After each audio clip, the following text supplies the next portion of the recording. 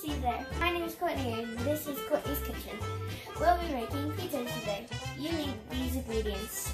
Flour, dough, and you need sauce and cheese. You can put any ingredients you want on it. And of course you need a rolling pin.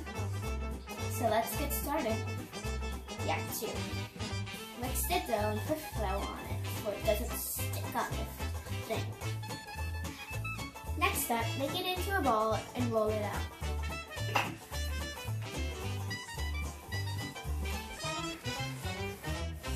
This is very effective.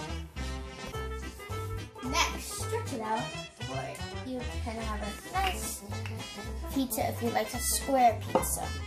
When you're done stretching it out, put olive oil on it, put olive oil and then put your sauce on your pizza. Spread it out, of course. Have a, let's put some dots on first, and then we spread it out. If you want to do this back at home, follow my instructions.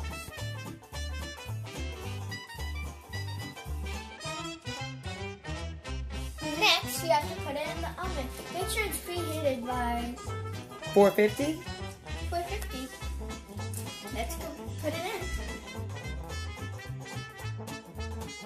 After 20 minutes, the pizza is done. Look how good that looks.